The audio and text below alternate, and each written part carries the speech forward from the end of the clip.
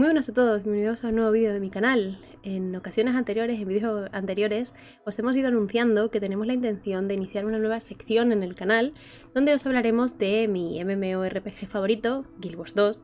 Para aquellos que me seguís en mi otro canal de Twitch, en Twitter, sabéis que es un MMO al que le dedico mucho tiempo, en el que tenemos muchísimos proyectos activos y queremos dedicarle un trocito, un pequeño hueco en mi canal eh, sobre todo de cara a noviembre de este año, noviembre del 2020, que eh, Guild Wars 2 saldrá en la plataforma de Steam, ¿vale? Para aquellos que tenéis intención de probarlo, ahora va a ser mucho más fácil, más accesible. Y además que es un MMO free to play, con expansiones, pero bueno, ya os iremos comentando más en detalle de qué trata este juego y las posibilidades que tiene. Pero a modo de esta salida, queremos, eh, digamos, incentivar un poco a los nuevos jugadores y sobre todo facilitarle un poquito con diversas guías que vamos a hacer en colaboración con el canal de Vortus, para aquellos que no lo conozcáis, se dedica a guías de PvE y guías de farmeo, guías de oro de este juego, y con Bronky de Battle Efficiency, Battle TV en Twitch, que se dedica sobre todo al modo competitivo de este juego, ¿vale? En diversas, en diversas modalidades. Y en mi caso, pues quiero hacer una serie de reseñas, vídeos de lore y también pues ayudar en el ámbito de PvE y diversas, diversas modalidades. Pero sobre todo queremos hacer este, este vídeo, esta serie en colaboración a tres bandas, porque queremos aprovechar la salida de, de Guild Wars 2 en Steam para eh, servir un poco de referencia y sobre todo un poco de guía a los jugadores nuevos y a los jugadores veteranos que están un poco perdidos en el juego. Y sobre todo queremos lanzar una pregunta tanto para jugadores novatos como jugadores veteranos y queremos centrarnos en un apartado que consideramos bastante importante a estas alturas, y es el siguiente. ¿Merece la pena empezar o retomar Guild Wars 2 en 2020? Como ya sabéis y os hemos comentado anteriormente, Steam va a incluir entre sus juegos a Guild Wars 2 como juego gratuito a finales de noviembre y queremos ayudaros a que os decidáis si os merece o no la pena comenzar un MMO como este. Pero comencemos a hablar un poco de este juego. Guild Wars 2, MMORPG secuela de Guild Wars, videojuego desarrollado por Ananet y distribuido por NCSoft en el año 2012. Rival directo durante muchos años de grandes títulos como WoW, Final Fantasy XIV, entre muchos otros, y que sigue representando un duro contrincante para muchos otros juegos de este género desde su año de lanzamiento. Cuenta con un largo desarrollo que ha ido creciendo conjuntamente con el paso del tiempo, con sus dos expansiones y sus múltiples mundos vivientes, permitiendo la continuidad de una muy, muy larga historia junto a un avance en sus mecánicas, una gran cantidad de contenido añadido y numerosos cambios en jugabilidad, diseños de mapas y nuevas zonas jugables. A diferencia de otros MMORPGs que hay actualmente en el mercado, no cuenta con pagos mensuales y no es estrictamente necesario comprar las expansiones, puesto que podemos descargarnos este juego totalmente gratuito y disfrutar de él pudiendo alcanzar el nivel máximo sin ningún problema. Eso sí, con ciertas limitaciones.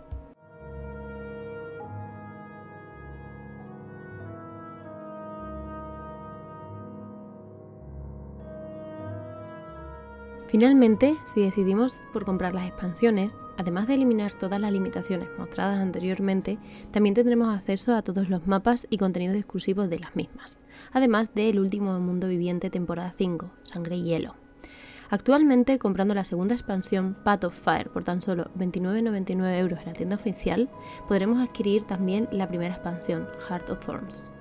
Bueno, ¿y qué son los mundos vivientes? A modo de nexo entre las distintas expansiones e historias y, con el objetivo de prolongar la trama, se nos ofrece este contenido como una serie de actualizaciones que transforman el juego. Conforme avanzan los diferentes capítulos que forman las temporadas de Mundo Viviente, Guild Wars 2 sufre una serie de cambios, surgen nuevos mapas, nuevos contenidos en las diferentes modalidades de juego, nuevas mecánicas y sobre todo nuevas historias y personajes para acompañarnos por nuestro viaje por Tiria. Las temporadas 1 y 2 del Mundo Viviente son un nexo de unión entre la historia principal y la primera expansión, Heart of Thorns. Después de la primera expansión surge el Mundo Viviente temporada 3, enlace directo con la segunda expansión Path of Fire e inmediatamente después de esta, Mundo Viviente temporada 4 y la temporada de Mundo Viviente en la que nos encontramos en estos momentos, la quinta, llamada Sangre y Hielo. ¿Cómo disfrutar al máximo estos episodios? Para poder jugarlos, primero tenemos que desbloquearlos. No es necesario tener ninguna de las historias previas finalizadas y se pueden empezar en cualquier momento, con cualquier personaje. Se puede jugar gratuitamente si nos conectamos durante el periodo desde la fecha de lanzamiento y la salida del siguiente capítulo. Para los nuevos jugadores o los veteranos que retoman el juego después de mucho tiempo y se han perdido temporadas o capítulos anteriores al actual, lamentablemente tendrán que comprarlos mediante gemas, la moneda de pago implementada en el juego. Pero el lado bueno es que Guild Wars 2 permite cambiar vuestro oro por gemas y cada capítulo cuesta aproximadamente 200 gemas. Y además, cada poco tiempo tenemos las temporadas enteras rebajadas, lo cual siempre es un extra. Tal vez para los nuevos jugadores, el empezar ahora este juego y haber perdido tanto contenido y tener que gastar más dinero al margen de las expansiones, no les resulte un factor que les atraiga tanto. Pero he de decir, desde mi opinión, que no todos los mundos vivientes y capítulos son estrictamente necesarios. Podéis disfrutar del juego base al ser gratuito y darle una oportunidad sin tener que preocuparos tan pronto de cómo afrontar el contenido final del juego. Todo depende de cómo queráis enfocaros en el juego y los propósitos que os marquéis conforme empezáis. Lo importante es probarlo, disfrutar a ritmo lento, subir de nivel, explorar mapas, disfrutar de su jugabilidad, probar las diferentes clases y sumergiros en esta nueva experiencia. Lo demás vendrá después. Guild 2 cuenta con tres modalidades diferentes. PvE, es decir, jugador contra el mundo, player versus environment y todos los retos que esto plantea de mundo, exploración, mazmorras, incursiones y muchas más posibilidades. Además de este modo de juego, existen otros modos más. PvP, jugador contra jugador, que permite el enfrentamiento en igualdad de condiciones tanto en arenas personalizadas, libres, clasificatorias e incluso torneos diarios como mensuales. Todos estos podremos jugarlos en formatos como 2 vs 2 y 3 vs 3, en mapas de Deathmatch e incluso 5 vs 5 referente al modo de conquista, es decir, capturar bases. En este juego, el PvP tiene una larga trayectoria, desde sus inicios hasta las plataformas como la SL, la Pro League, Liga de Clanes para los qualifiers de esta última e incluso mundiales. Así pues, el modo de conquista es el rey indiscutible de todos estos, donde la estrategia, visión del mapa y la skill prima ante todo. Pues matar es solo una herramienta para poder conseguir tus objetivos estratégicos, conocer y respetar las funciones de tu rol, así como tratar de hacer las rotaciones correctas es lo que te hará crecer como jugador. Y por último, World vs. World. Mundo contra mundo. Es una modalidad de PvP a gran escala donde se combina el combate directo con la defensa y conquista de estructuras con armas de asedio, así como completa otro contenido del tipo PvE para ganar la experiencia mundial dentro de inmensos mapas, donde podremos disfrutar de batallas épicas de grupos de hasta 50 personas contra otros grupos de diferentes servidores. También, digno de mencionar, otro modo dentro de este, que son las GVGs, es decir, Guild vs Guild, es un formato formalizado de 15 vs 15 donde se enfrentarán directamente en terrenos planos clanes dedicados de World vs World a un nivel más tryhard. Esta modalidad no es oficial dentro del juego, pero es tan extendida como popular dentro de nuestra comunidad, lo que demuestra la comunidad tan dedicada que tiene este juego.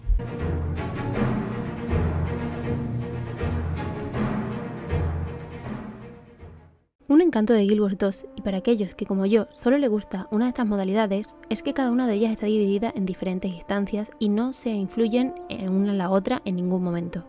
Para el caso de PvP tenemos el Corazón de la Niebla, con su propio mapa, su propio lobby e instancias. En el caso de Mundo contra Mundo tenemos diferentes mapas a escoger entre todos ellos. Una vez dentro podemos comprobar que este mismo mapa de Mundo contra Mundo se divide en diferentes regiones, cada una diferenciada por un color propio.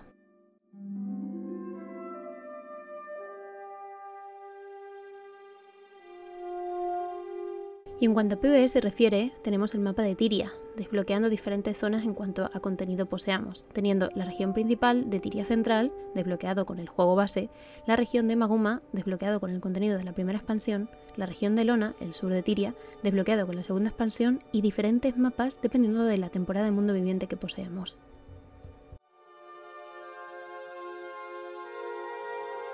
Pasemos a la hora de crear un personaje. Existen cinco razas diferentes que conforman Tiria, el mundo donde se desarrolla la acción de Guild Wars 2. Los Char, los humanos, los Nor, los Asura y los Silvari. Cada raza con su propia historia, culturas, zonas propias de inicio y mapas propios,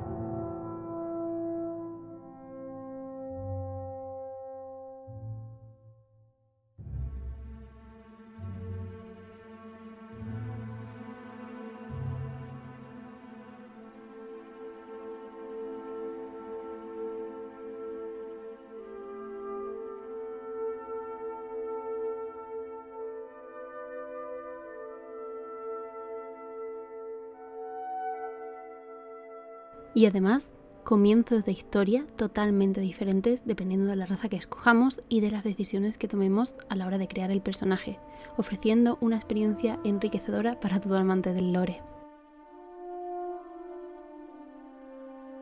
Otro de los encantos que tiene Guild Wars 2, y creo que un punto muy muy favorable en este MMO, a diferencia de otros MMOs actualmente en el mercado, es que a la hora de crear un personaje puedes escoger entre 5 razas diferentes y que esta elección funciona a tu preferencia personal. Es decir, si escoges un Silvari o escoges un humano no vas a tener atributos extra de cara a la profesión que escogerás más adelante, en absoluto.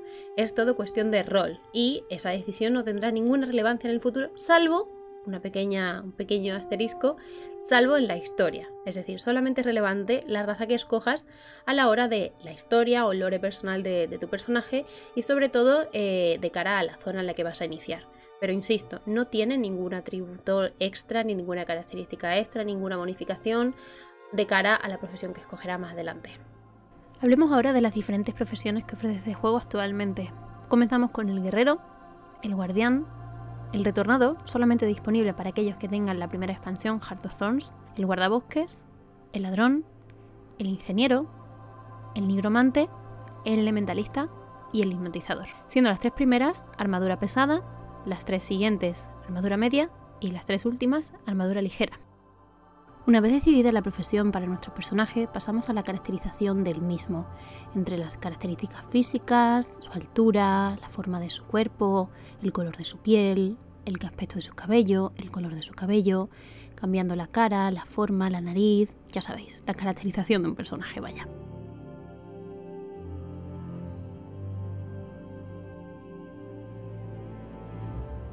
Además de escoger el color de su ropaje según su profesión. Finalizada esta caracterización, el juego procederá a realizarnos una serie de preguntas, primero en relación a la profesión que hemos escogido, planteándonos tres opciones a escoger entre ellas.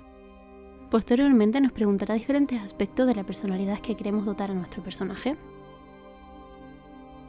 su cultura o creencias, dependiendo de la raza escogida, y otras y muchas diferentes preguntas más, dependiendo siempre, hay que estar atentos, siempre va a cambiar en función de la raza que hemos escogido. Una vez tomadas todas las decisiones correspondientes, comienza vuestra historia, jugadores. Bienvenidos a Tiria. Un mundo lleno de magia, de misterio, de secretos, de traición, de cosas inimaginables. Preparaos para vivir una de las mejores historias jamás imaginadas. Para viajar por los bellos paisajes desde las amenazantes selvas de Maguma a las llanuras ocres y doradas de Ascalon o el infinito y ardiente desierto de Lona. Conocer personajes que os enamorarán y que os robarán un pedazo de vuestro corazón, que transmitirán su dolor, sus alegrías, sus logros, haciéndolos tuyos. Serás un campeón, un héroe, un matadragones, un exterminador de dioses, todo lo que siempre has podido llegar a imaginar. Y antes de acabar, me gustaría hablaros brevemente de mi experiencia en este juego, y si es posible, animaros a probar esta fantástica, fantástica experiencia. Si habéis llegado hasta esta parte del vídeo, habéis podido comprobar que somos un poquito fangirls y fanboys del juego, ¿verdad? Trataré de ser lo más imparcial posible. Me considero una jugadora con cierta experiencia en todo tipo de MMOs, llegando a probarlos casi todos los disponibles en el mercado actualmente y durante además bastante bastante tiempo. Siempre me ha cautivado la libertad que te ofrece este tipo de juegos a la hora de crear un personaje desde cero, moldearlo según tus gustos, tus ideas y planificar tu historia soñada, la progresión hasta alcanzar el nivel máximo, la construcción de las diferentes profesiones y sobre todo las habilidades. Vamos, en resumidas, la posibilidad de crear tu alter ego. Guild Wars 2 ha sido, desde mi propia experiencia, el único juego que ha podido mantenerme durante años totalmente enganchada a su mundo, a sus personajes, a su historia. He sentido amor por sus mapas, por su historia y por todo el contenido que ha podido aportarme, volviendo siempre a jugar.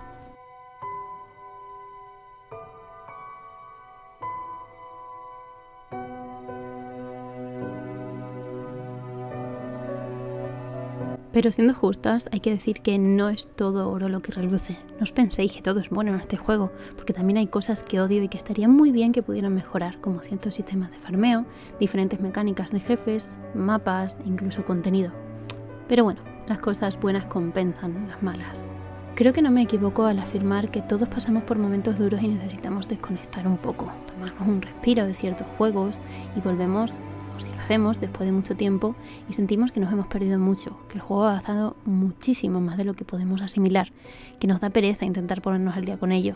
Pero en el caso de Guild Wars 2 es como si ese tiempo no pasara.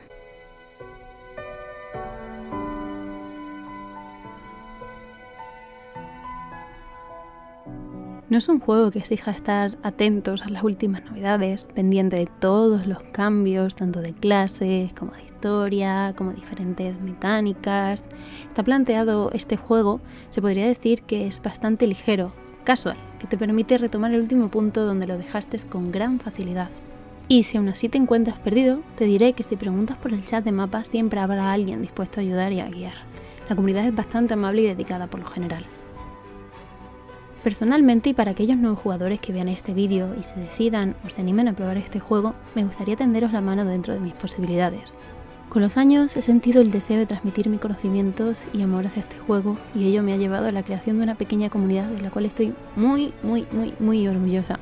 Avanzamos con seguridad y consiguiendo nuestros propósitos, que son ayudar y guiar a los nuevos jugadores, pero sobre todo brindar apoyo. Solo me gustaría que con este vídeo decirte a ti, jugador nuevo o jugador veterano, que me estás viendo, que espero que le des una oportunidad a este juego, en el caso de que seas nuevo, y en el caso de que seas veterano, que continúes, que continúes viviendo esta experiencia, este mundo, porque creerme, se ganarán un pequeño hueco en tu corazoncito sin que te des cuenta. Es una experiencia única que recomiendo a todos.